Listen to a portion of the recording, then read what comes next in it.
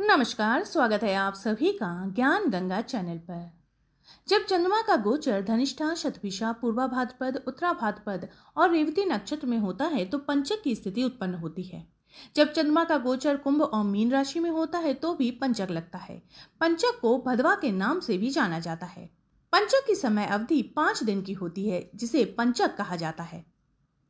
पंचक के दौरान चारपाई नहीं बनवानी चाहिए, ऐसा करने से व्यक्ति के ऊपर संकट आने की संभावना बनी रहती है। पंचक के दौरान घास, लकड़ी आदि जलाने वाली वस्तुएँ एकत्र नहीं करना चाहिए। साथ ही पंचक के दौरान दक्षिण दिशा की यात्रा करना भी वर्जित माना गया है। दक्षिण दिशा यम और पितरों की मानी गई है। इसलिए इन नक्षत्रों में दक्षिण दिशा की यात्रा करना हानिकारक माना जाता है। पंचक के दौरान घर की छत नहीं बनवानी चाहिए। साथ ही पंचक के दौरान, जो अंतिम कार्य निषेध माना गया है, उसके अनुसार अंतिम सैया का निर्माण पंचकों के दौरान नहीं करना चाहिए। आज के इस वीडियो में हम जानेंगे कि साल 2023 में पंचक कब है, जनवरी से दिसंबर तक संपूर्ण लिस्ट।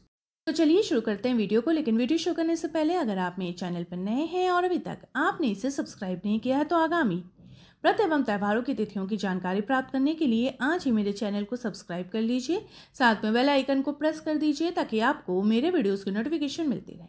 वीडियो अच्छा लगे तो उसे लाइक और शेयर करना बिल्कुल मत भूलिए। तो चलिए शुरू कर लेते हैं।